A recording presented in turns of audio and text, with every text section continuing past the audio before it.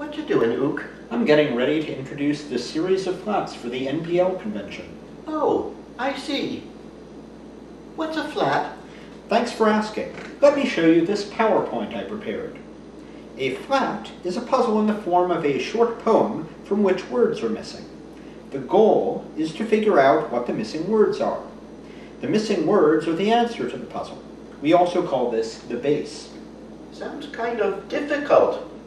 So how do you know where the answer words go? Oh, it's not difficult at all. The missing words are replaced by cue words, which are in all caps. You see them there? In this poem, the cue words are 1 and 2.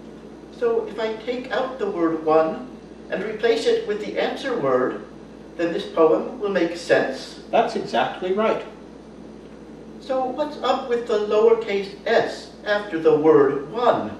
Lowercase letters around the cue word indicate plurals, past tenses, and that sort of thing. In this case, the answer is a singular noun that is used as a plural when placed in the poem. So how do you figure out what the answer words are?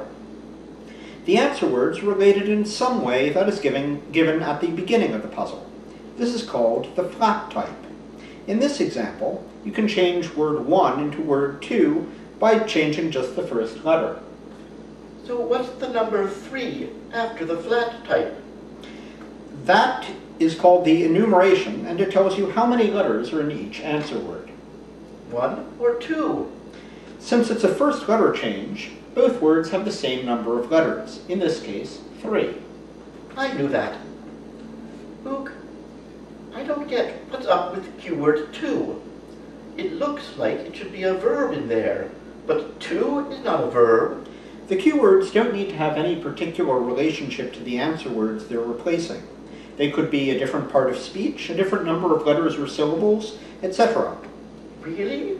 Yes, sometimes the cue words even match the flat type.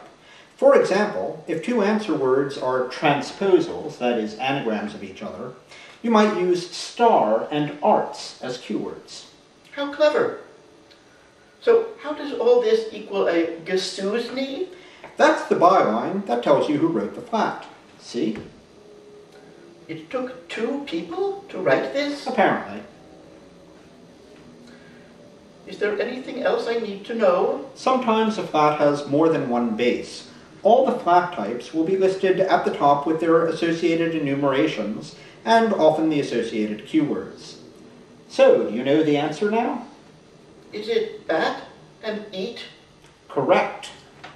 I did it! I solved a flat! And now, on with the show.